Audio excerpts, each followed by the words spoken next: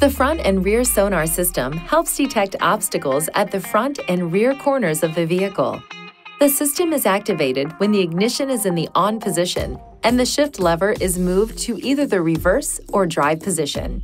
The system automatically deactivates at speeds above 6 miles per hour and reactivates when the speed drops below 6 miles per hour. When an object is detected, the green indicator blinks and the tone sounds intermittently. The indicator turns yellow and the tone rate increases when the vehicle moves closer to an object. As the vehicle gets very close to the object, the indicator turns red and the tone sounds continuously. To enable or disable the sonar system, press the right or left arrow button until settings displays, and then press the OK button. Press the up or down arrow button to select driver assistance, and press the OK button. Now, select parking aids and press the OK button.